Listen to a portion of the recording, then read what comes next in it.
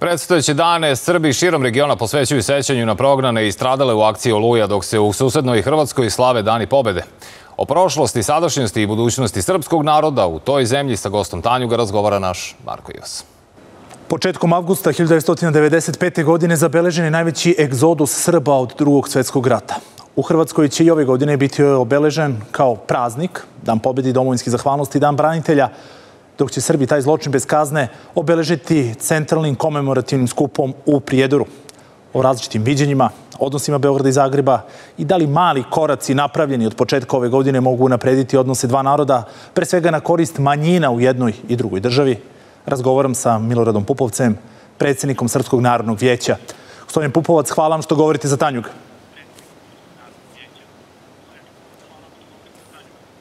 Zadovoljstvo mi je biti s vama. Gospodin Pupovac, leto je uvijek bilo nekako najproblematičniji period za srpsko-hrvatske odnose, dok Srbi tuguju, Hrvati slave. Izuzetka neće biti ni ove godine. Prošle godine niste bili u Novom Sadu, gde je bio centralni komemorativni skup, ali niste bili ni u Kninu, gde je Hrvatska slavila. Da li ćete ove godine biti u Prijedoru, ali i Kninu?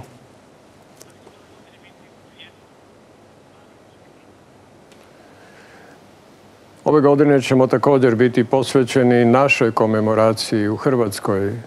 Srbi u Hrvatskoj već više od deceniju i pol komemoriraju na različitim mjestima stradanja Srba za vrijeme i nakon oluje. Tako ćemo i ove godine to raditi u Lici, na području Otočca, u selu Doljane i bit ćemo potpuno koncentrirani na stradanje ljudi na njihovu veliku žrtvu i na to da se čuje i glas naš u pogledu stradanja i da se čuje naš glas u pogledu načina na kojih se sjećamo žrtava. S tim u vezi, kada je pre par godina Boris Milošević kao predstavnik srpskog naroda, ali u to vreme podpredsednik Hrvatske vlade bio u Kninu na obležavanju tom centralnom od strane Hrvatske uh, akcije Oluja. Vi ste tada negdje izgovorili da je njegovo učešće, zapravo prisustvo tu važno da bi se posle iz svih mesta u kojima su bila stradanja pošalju uh, upravo poruke mira i saosećanja zbog stradanja Srba. Pa je se išta promenilo od kada je gospodin Milošević tada bio u Kninu?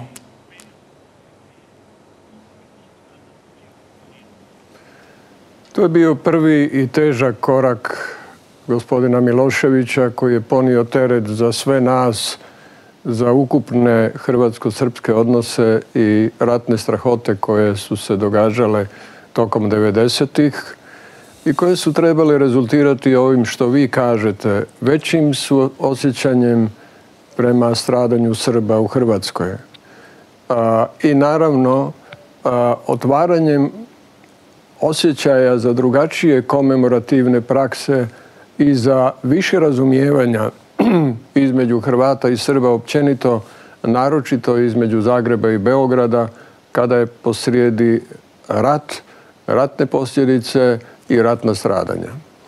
To je, nažalost, zaustavljeno razmjerno rano u osnovnoj ideji i osnovnoj namjeri, kao što sam je iznio, ali ne možemo reći da su se odnosi u tom smislu i u tom pogledu drastično pogoršavali. Oni su se održavali na stanju koje je dosegnuto i u tom smislu su nastavljene komemorativne prakse kakve imamo do danas, do današnjeg dana, a to, je, to su tri različita obilježavanja oluje, jedna u Kninu, druga koja se organizira od strane vlade Republike Srbije, ove godine i vlade Republike Srpske, a drugo je od strane srpskog naroda, treća je od strane Srpskog narodnog vijeća u samoj Hrvatskoj. Kada govorimo o tom obležavanju od strane Srpskog narodnog vijeća, ne samo tog jednog, nego na više mesta gde vi e, tokom ovih dana, da kažemo, tugi i sećanja prođete kroz Hrvatsku, Nažalost, popis koji je sproveden u Hrvatskoj pokazuje da ima sve manje Srba u Hrvatskoj. E, pa ko će biti uskoro na tim obeležavanjima u godinama koje slede, jer će imati ko da se seća i da obeležava taj progon u Oluji i zar nije zapravo najveći interes to da se poboljša položaj Srba kako bi ih opstalo i kako bi ih bilo u Hrvatskoj? To je naš cilj. Mi razvijamo svoju kulturu sjećanja, za nas bolnu, ali svejedno kulturu sjećanja, na način da što je manje produbljujemo mržnju među narodima, hrvatskim i srpskim. Da što je moguće manje povrijeđujemo ljude u njihovom sjećanju na, u ove dane i mjesece, bilo da je riječ o stradanju Hrvata 1991. 1992. godine ili bilo da je riječ o stradanju Srba u isto to vrijeme, a naročito 1995. godine. Dakle, naše nastojanje jeste da imamo što je moguće više mira, što je moguće manje strahova i što je moguće više prostora da svatko ko se još želi vratiti, da se vrati. Da svatko ko želi doći bilo kojim poslom u Hrvatsku, dođe u Hrvatsku i da se osjeća sigurno i da se osjeća tako da može obavljati taj posao ili da može normalno živjeti. To je smisao onoga što mi želimo činiti, a istovremeno ne želimo nesreću činiti većom nego što ona jeste, jer već je i sama po sebi ogromna, kao što ste rekli na početku, kad je posrijedi ovo posljednje veliko historijsko stradanje Srba u Hrvatskoj. Međutim, da bi se zapravo došlo do umirenja svega, treba i zatvoriti ta neka nerešena pitanja. Jedno od tih ključnih nerešenih pitanja jeste pitanje nestalih. S tim u vezi, da li uopšte posle 28 godina od Oluje ima volje, pre svega te političke, da se to pitanje reši?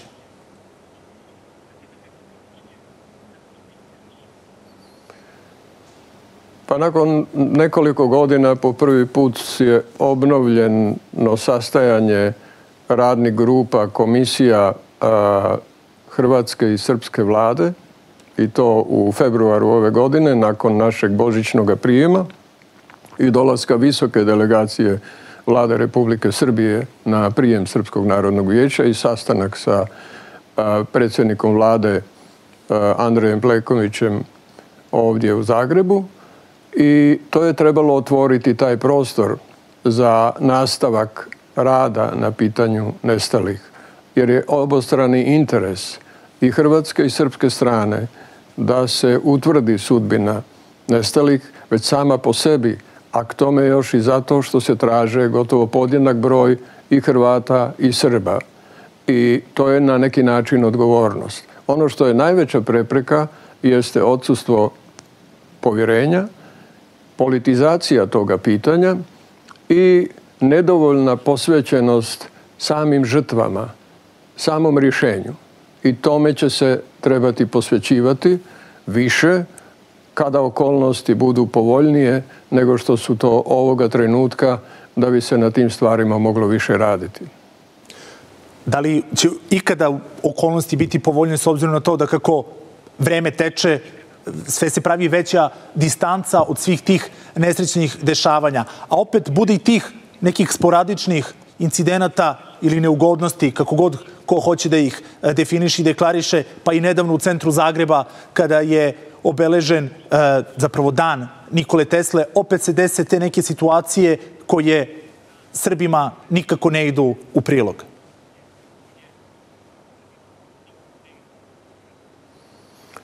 To sa spomenikom Nikole Tesle i sa skrnavljanjem našega vijenca – ispisanoga ćiriličnim slovima jeste doista uznemirujuće. I jeste nešto što se ne samo na tom mjestu, nego inače ne bi smjelo događati.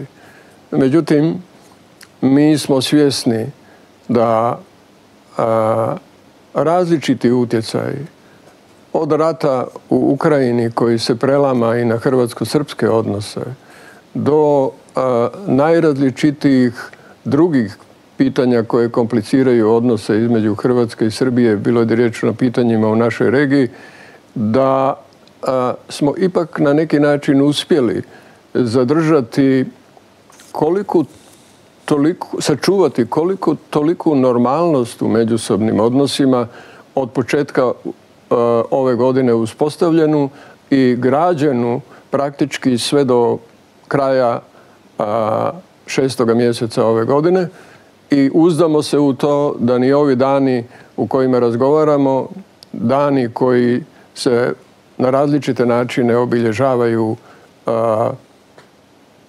tragični događaj u Oluji i nakon nje, da ni oni neće u tolikoj mjeri poremetiti odnose da dvije države e, neće nastaviti ono što su započele početkom godine.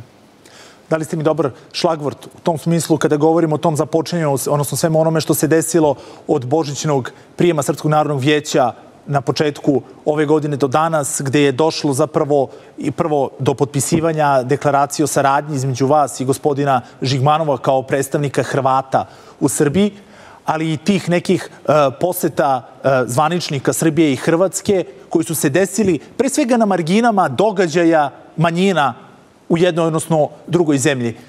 Zašto još uvek izostaju ti zvanični posjete, zvanične, e, e, zvanič, zvanični dolasci najviših zvaničnika, da to ne bude vezano samo za manjine?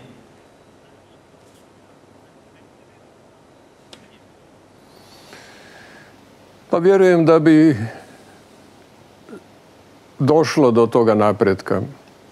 Da nije političkih događaja i u Hrvatskoj i u Srbiji koje i Hrvatsku približavaju redovnim izborima, a Srbiju moguće izvarednim izborima.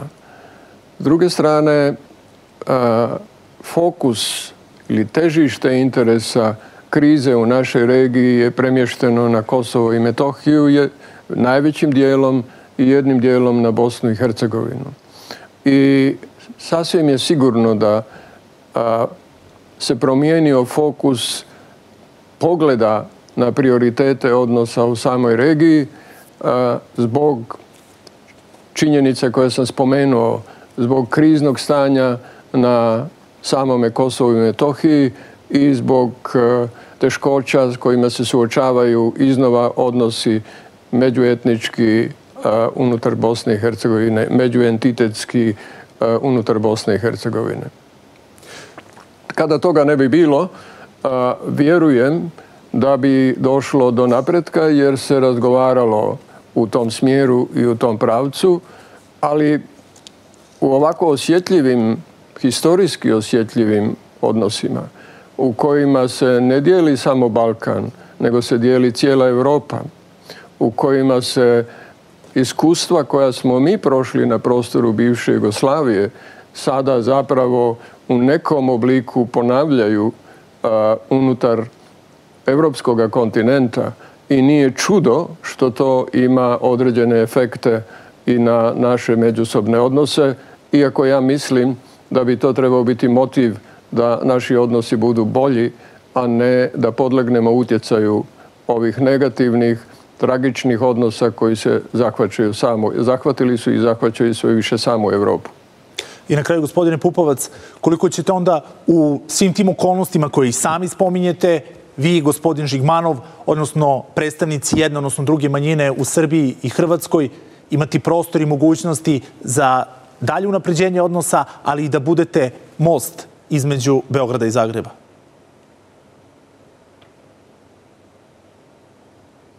Pa mi ćemo se veoma skoro, kroz koju nedelju, ponovo sresti u Golubiću pored Obrovca gdje se srećemo svake godine i gdje je započeta naša suradnja zahvaljujući suradnji akademskih institucija iz Novog Sada, ljudi porijeklom iz e, Hrvatske i s druge strane e, naših institucija, prije svega Srpskog narodnog vijeća i institucija e, Hrvatske zajednice u Srbiji, dakle Hrvatskog nacionalnog vijeća i Demokratskog saveza Hrvata Vojvodine.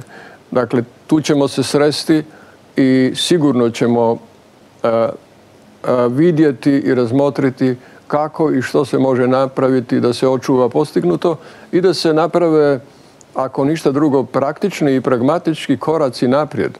Kao što je recimo korak ne velik, sitan, ali za ljude iznimno važan, a to je priznavanje elektronske naplate putarina a, koju elektronskih uređaja koje ljudi podižu i kupuju u Srbiji, da vrijede i u Hrvatskoj, na hrvatskim cestama, kao i obrnuto da elektronski uređaji iz Hrvatske a, vrijede za plaćanje a, putarina ili cestarina u samoj Srbiji.